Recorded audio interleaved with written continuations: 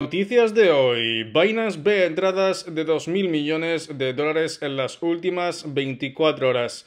BlackRock y Fidelity se reunieron con la SEC XRP se asocia con el Banco de América y Cardano está siendo comprado por ballenas. Primero vamos a arrancar con esta noticia acerca de Binance. Parece ser que está desafiando, está controlando el food que tenemos actualmente en el mercado de criptomonedas y es que hemos visto entradas de 2.000 millones de dólares en las últimas 24 horas a raíz de la salida de los grandes ejecutivos de, de Binance, altos cargos que han renunciado a su puesto por temas personales, pero que mm, por lo visto tiene que ver con la fuerte regulación a la cual están siendo sometidos eh, por parte de la SEC y también por parte del continente europeo. Bueno, aquí vemos en esta noticia cómo se nos indica la entrada masiva de volumen dentro del intercambio más grande actualmente, que es el intercambio de, de Binance. Hemos visto esta tarde también cómo el CEO de Binance dijo que Binance no es FTX,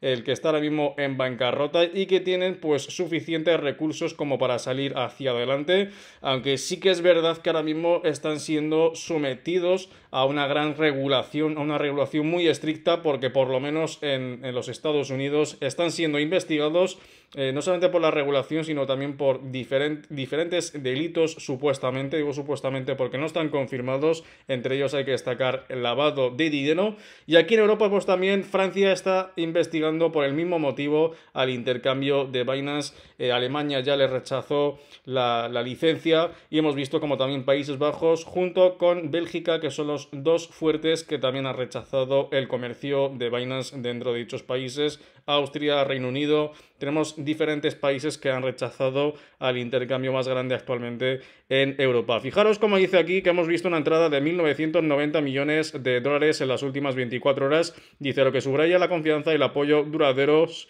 duraderos que disfruta Binance dentro de las eh, cripto, como, bueno, dentro de la criptocomunidad. Aunque como digo, ahora mismo estamos siendo sometidos a una gran regulación. De hecho, os quería comentar de un intercambio que es regulado y seguro para la gente de Europa porque probablemente se vaya a paralizar el comercio de Binance dentro de los países europeos. Os quería recomendar Bitbabo que además a este mes está regalando un bono de 500 euros simplemente por pasar tus activos de Binance hacia este intercambio. Además es un intercambio, como digo, regulado y seguro y cuenta con el banco, bueno, cuenta con el respaldo del Banco Nacional Holandés y también de la Cámara de Comercio Holandesa. Así que abajo a la descripción de este vídeo y también en el primer comentario fijado os estaré dejando el link de registro y también el link del vídeo en el cual explico paso a paso cómo conseguir ese bono de 500 euros. Además se puede retirar, bueno, se puede depositar, perdón, utilizando PayPal.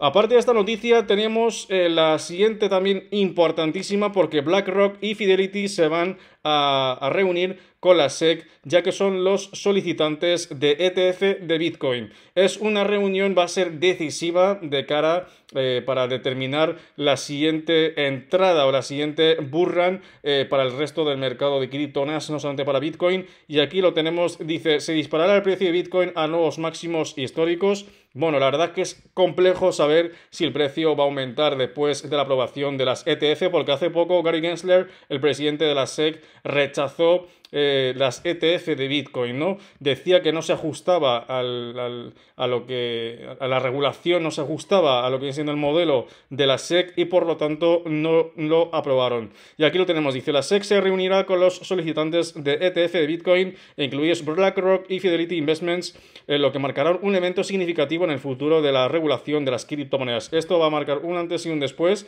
así que veremos a ver en qué termina pues esta eh, reunión. No tenemos fecha de cuándo se van a reunir. Eh, me imagino que por temas de por temas de seguridad, bueno, más que y privacidad, no querrán compartir la fecha de cuándo se van a reunir. Y aquí lo tenemos, y fijaros, dice la aprobación de un ETF de Bitcoin al contado, luego de la utilización de un ETF de futuros de Bitcoin apalancado, podrá tener implicaciones significativas para la industria de las criptomonedas. Y, eh, como digo, es una, es una reunión de gran magnitud, que de hecho ahora mismo Bitcoin se está sentando bastante bien en los 30.000, tras haber tocado en el día de hoy el mínimo en los 29.733. Fijaros que se mantiene ahora mismo eh, por encima del soporte que lo tenemos colocado en los 29.896 y estamos ahora mismo eh, unos 600 dólares, 800 dólares por debajo de la resistencia que tenemos marcada en los 30.982, prácticamente unos 600 dólares, 700 eh, mejor dicho, perdón, son los que nos separan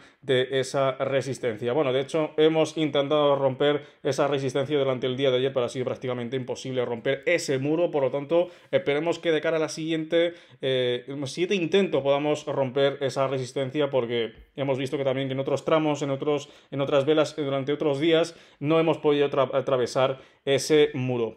Y bueno, pues también la noticia muy importante que tenemos ahora mismo es acerca del token de XRP de Ripple, ya que se asocia con el Banco de América. Aquí lo tenemos, fijaros. Dice Bank of American Bank, bueno, Bank of el Banco de América básicamente, se asocia con Ripple para remodelar los pagos transfronterizos. Eh, bueno, eh, para quien no conozca el, token de XRP, es de Ripple, tiene una, una red de pagos que es bastante potente, hecho supera la de Bitcoin y ahora mismo pues tenemos diferentes instituciones financieras y muchos bancos que están ahora mismo pues luchando para integrar el token de XRP junto con su red de pagos eh, para remodelar eh, lo que viene siendo el, modelo tradicional de los bancos, ¿no? Y aquí lo tenemos, dice el Banco del Banco de América reconoció recientemente el papel de Ripple Labs en el sector de pagos en la región de Asia-Pacífico en un informe separado. Dice, el informe enfatiza la importancia de la tecnología blockchain en la digitalización de documentos comerciales y destaca el potencial de Ripple para revolucionar los pagos transfronterizos. Ripple no solamente se asocia con el Banco de América, sino también se ha asociado con el Banco Central colombiano y hemos visto otras asociaciones con bancos suizos y también un banco en los Emiratos Árabes. Ahora mismo la verdad es que no me acuerdo muy bien del nombre del banco de los Emiratos. Si alguno se acuerda, que me lo deja abajo en los comentarios. Pero Ripple ya tiene pues una especie de, de, archivo muy potente en cuanto a asociaciones y posibles asociaciones que se puedan realizar de cara al futuro eh, con los bancos internacionales. Todo esto para revolucionar el, el sistema SWIFT, ¿de acuerdo?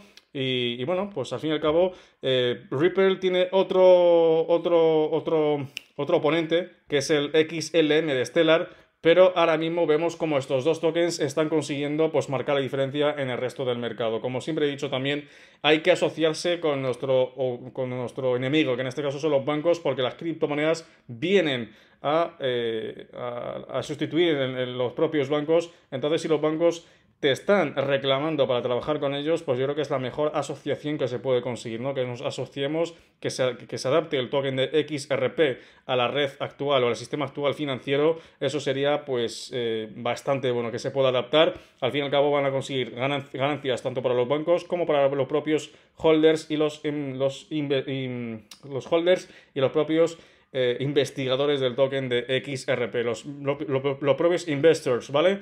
Eh, también hay que destacar que ahora mismo el token de XRP se encuentra como retenido porque tiene una disputa, recordamos, contra la SEC y aún no ha sido resuelta más de dos años. Así que ahora mismo lo que tenemos que tener es la resolución de esa disputa para después ya finiquitar pues, todos los acuerdos o todos los posibles acuerdos que tengamos con los bancos. Mientras tanto va a ser complejo que se pueda llegar a incluir el token de XRP junto con su red de pagos en cualquier sistema financiero. Eh, la siguiente noticia también es muy importante porque vemos que hay grandes compras para el token de ADA Cardano. Fijaros, dice eh, ballenas millonarias de Cardano en una juega de compras constante mientras el precio de ADA Cardano se emburla del próximo movimiento. Bueno, parece ser que tenemos grandes compras que se han realizado en las últimas 24 horas. Y aquí dice, según los datos de Into the Block, las direcciones millonarias de Cardano han aumentado sus tenencias en los últimos 30 días. Parece ser que las ballenas están aumentando eh, su, su holding ya sabéis que ahora mismo cuando caen mucho los precios hay mucha gente que le entra el pánico, ¿no? Pero no es para que te entre el pánico, realmente cuando baja mucho el mercado, cuando tenemos color rojo, realmente es cuando hay que aprovechar realmente y cuando sube mucho el precio, cuando tenemos la noticia es cuando hay que vender realmente en ese momento. Y lo que están haciendo ahora mismo las ballenas, como ha bajado mucho el precio de Ada Cardano a raíz de la disputa que se ha iniciado y demás, pues están acumulando grandes cantidades que probablemente cuando suba el precio o por lo menos se coloque más o menos a la altura de que del pre-colapso, entre comillas, que hemos tenido después de la, de la demanda, pues vender. Pero ahora mismo son momentos realmente para intentar acumular, porque no son momentos para vender eh, seguimos estando con bastante incertidumbre y hasta que no tengamos la señal clara de que el mercado va a marcar una tendencia alcista, no conviene vender en estos momentos. Así que nada chicos, espero que os hasta el vídeo, os ha gustado, dejad vuestro like, suscribiros a este canal para que no os perdáis ninguna novedad y nos vemos en el siguiente vídeo.